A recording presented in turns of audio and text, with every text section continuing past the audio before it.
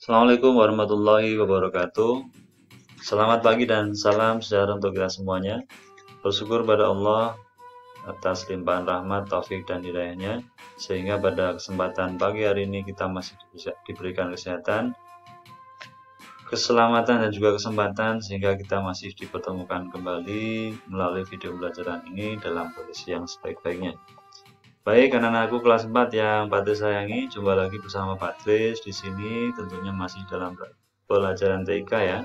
Jadi untuk hari ini Patris akan menyampaikan lanjutan materi dari pertemuan sebelumnya yaitu tentang membuat animasi ya. Jadi pada pertemuan kali ini Patris akan uh, lebih banyak praktiknya ya. Jadi tolong diperhatikan, disimak Nah, bagi yang sudah punya buku silakan bukunya dibuka ya. Kemudian mungkin bagi yang sudah ada perangkat komputer bisa dibuka juga dipraktekkan nantinya. Tentunya dengan bimbingan orang tua kalian masing-masing. Baik, untuk mempersingkat waktu, Patris langsung mulai saja materi kali ini presentasinya.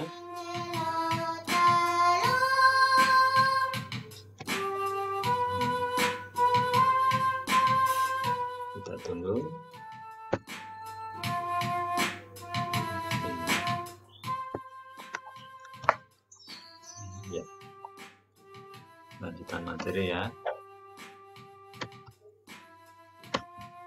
Membuat ragam gerak. Jadi ragam gerak. Macam-macam gerakan. Macam gerakan ada dua ya. Jadi perhatikan. Yang pertama adalah gerakan patah-patah. Apa itu gerakan patah-patah? Gerakan patah-patah adalah gerakan yang kaku seperti patah. Gitu ya. Nah contohnya apa? Contohnya adalah gerakan robot. Kalian tahu robot ya tentunya tahu. Ya jadi gerakan itu tidak berurut apa tidak luas seperti gerakannya kita manusia yang e, normal maksudnya begitu ya. Selanjutnya yang kedua adalah gerakan dinamis. Apa itu gerakan dinamis? Gerakan dinamis adalah gerakan yang bersemangat yang gembira dan cepat. Nah biasanya gerakan ini diiringi oleh musik ska dangdut reggae yang berirama, berirama cepat, bersemangat dan menghentak. Nah, nanti contoh gerakan patah-patah Patris praktekkan ya melalui animasi pivot nantinya. Jadi tolong diperhatikan. Ya, sudah terbang itu ya. Ya, terbang itu menggunakan animasi juga. Jadi kalian juga harus tahu nanti animasi tidak hanya di pivot tapi juga ada program lain. Itu ya. Baik, praktik membuat animasi. Animasi dengan menggunakan pivot. Tolong diperhatikan. Patris akan mulai praktek menggunakan pivot.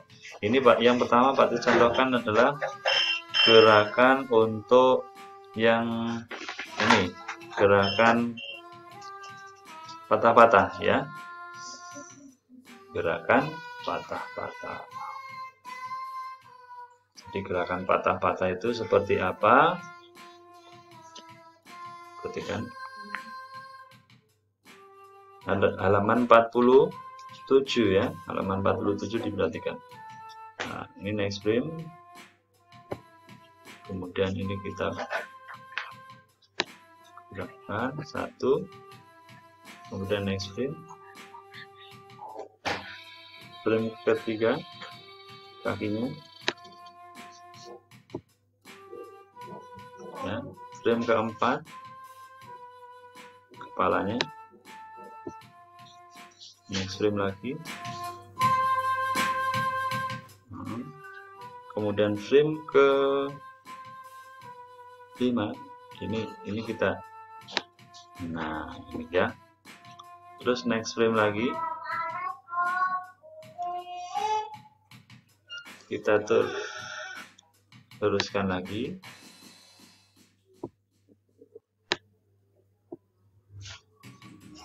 kita turunkan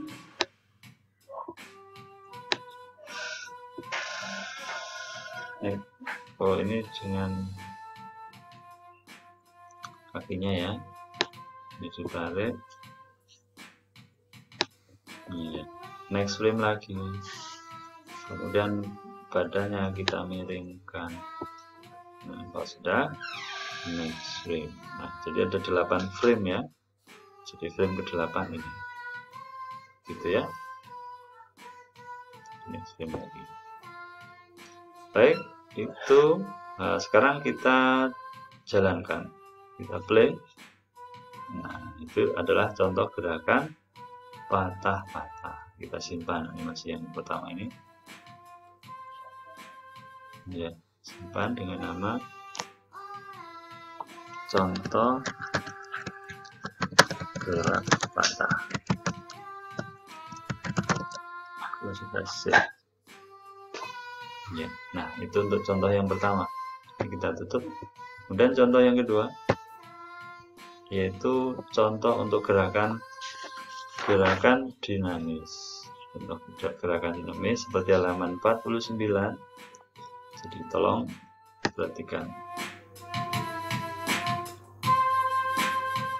Gerakan yang pertama atau frame ada di frame pertama tangan di ada di ya next frame kemudian ada di frame 3 berarti kita next frame dua kali gitu ya. Terus kita miringkan kepalanya. Kemudian ada ke frame 8 berarti next frame nya sampai ada di uh, ke 7 ya. Hmm, 7 oh frame sorry frame ke 8 jadi ini frame ke 8 kan masih kosong. Jadi kita nah sini lagi bangunkan lagi ya. Next frame lagi. Sampai 13 itu 2 3 4 nah ini sampai 13 ya. 13 artinya masih kosong. Kosong ini diisi gerakan yang ini. Nah, ini lagi next frame lagi sampai dengan 18 perhatikan nah ini ya. Yang perhatikan ini perhatikan adalah di sini. Nah setelah itu frame 18 itu berdiri lagi. Ya sampai berapa? Sampai 19 19 sama di next frame lagi. Kemudian frame oh ini berarti terus ya. Sampai 22 22 kita ganti miring ke kanan. Nah, kiri atau kanan ya. Kalau sudah next frame nya sampai 26 ya 26 itu ya. Kita rubah. Ya kemudian next frame sampai 29 sini next frame next frame. Ganti miring ke kiri atau kanan ya. Terus sampai ke 34 ya. Kita luruskan lagi kepalanya. Sampai 36 muslim muslim kita miringkan ke kiri lagi. Sampai 40 next spring next spring ya 40 berdiri lagi lurus kepalanya maksudnya. Kemudian next frame lagi. Sampai 42 ini kita miringkan lagi. Ya. Next frame lagi sampai 46 44 45 46 ini terus 48 sampai 48 ini nah tangannya di ke ataskan ini ke ataskan ini ke ataskan dulu.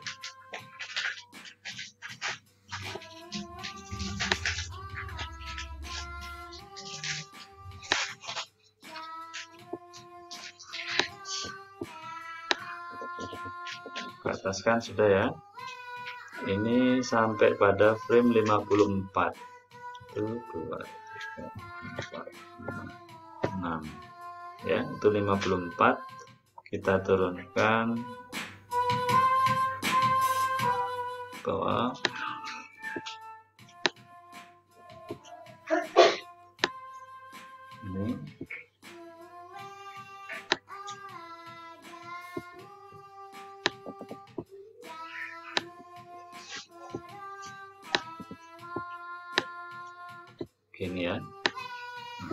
kalau membuat animasi ini harus harus telaten tidak boleh terburu-buru. Maka nanti hasilnya bagus. Kalau membuat animasi terburu-buru animasinya nanti tidak jadi. Jadi tapi tidak tidak bagus. Begitu ya. Nah ini next frame sampai nah, 55 begitu ya. Nah mungkin sampai di sini ya. Jadi kalau kalian uh, ingin lebih bisa dan ingin mempraktekkan tentunya kalian punya uh, program ini gitu ya. Gitu. jadi ini kita simpan. Oh sorry kita jalankan dulu. Kita play. Nah gerakannya bisa lambat ya. Karena apa? Jadi next sprintnya itu ada yang berjarak 5 berjarak 6 gitu ya. Kecuali kalau kelipatannya satu atau jaraknya satu satu frame satu frame maka gerakannya cepat uh, karena ini kita berbicara dari apa gerakan satu ke gerakan lain itu bisa diulang sampai tiga kali, empat kali, lima kali sehingga gerakannya menjadi lambat ya. Nah selain itu kalian juga bisa mengatur ininya namanya apa? Slidernya ya. Bisa dicepat-cepat atau diper diperlambat. Gitu ya normalnya adalah 12 begitu ya. Di cara menggerakkan animasi itu pakai tombol play atau menjalankannya ya. Nah kalau sudah ini kalian perhatikan lagi di sini muncul ada eh, repeat yang dicentang sehingga animasinya tidak berhenti ya. Atau istilahnya adalah berulang-ulang terus tidak sampai berhenti Nah, jika kalian ingin menghentikan, pilih stop. Nah, ini berhenti ya. Kalau di play, jalan lagi. Ya. Nah, kalau kalian ingin menjalankan tapi hanya satu kali putaran, maka ini cukup di centangnya dihilang, dihilangkan. Berhenti ya. Coba di play. Nanti sampai frame 55 berhenti. Ini ya, bicara. Nah, ini 55 berhenti. Begitu ya. Jadi ini adalah untuk menjalankan play ya. Ini kita stop. Meskipun belum sampai terakhir kita stop. Nah bisa berhenti ya. Coba lagi. Stop. Nah, jadi meskipun masih ber, di urutan ke 25 kita stop maka frame langsung menunjukkan frame terakhir. Gitu ya. Nah selanjutnya kita kalau ingin mengulang tadi sudah dapat jelaskan repeatnya di channel gitu. Kalau tidak mungkin Baik, kita simpan. Kita simpan, namanya adalah gerakan dinamis. Oke ya. Sudah. Kembali pada presentasi ini. Ini kita nah, itu ya. Baik, uh, untuk pertemuan kali ini sudah selesai, sudah cukup ya. Untuk tugas kalian tugasnya adalah cukup mempelajari buku TIK bab 3 gitu ya. Nah, jangan lupa. Nah, terima kasih atas perhatian kalian semuanya. Jangan lupa di subscribe like and share. Bagi yang belum bagi yang sudah patut sampaikan terima kasih. Semoga bermanfaat. Ya semoga bermanfaat buat kita semuanya dan juga orang lain ya atas akhiri assalamualaikum warahmatullahi wabarakatuh